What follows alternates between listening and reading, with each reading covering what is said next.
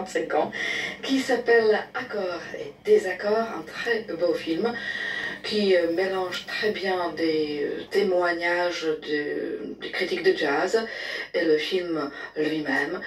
Le film Accords et désaccords raconte donc euh, l'histoire d'un deuxième meilleur guitariste de jazz au monde seulement devancé par Django Reinhardt, qui s'appelle Emmett Wright. Nous sommes dans les années 1930. Évidemment, Woody Allen a tout inventé, mais on y croit tellement que plusieurs spectateurs cherchaient des albums de Emmett Wright à la sortie du film.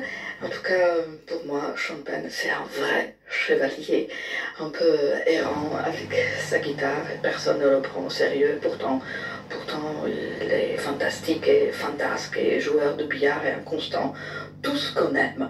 Accords et désaccords à voir et à revoir. D'ailleurs, euh, il faut aussi écouter le podcast mm, sur euh, Django Reinhardt qui vient de sortir, donc sur le site de francemusique.fr. Formidable podcast de Anne-Charlotte Raymond qui s'appelle Django.